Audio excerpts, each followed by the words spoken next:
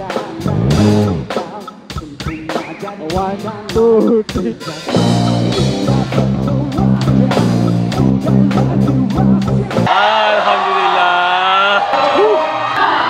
Oh, kau buat wiwit tadi ah. Tadi kau buat wiwit.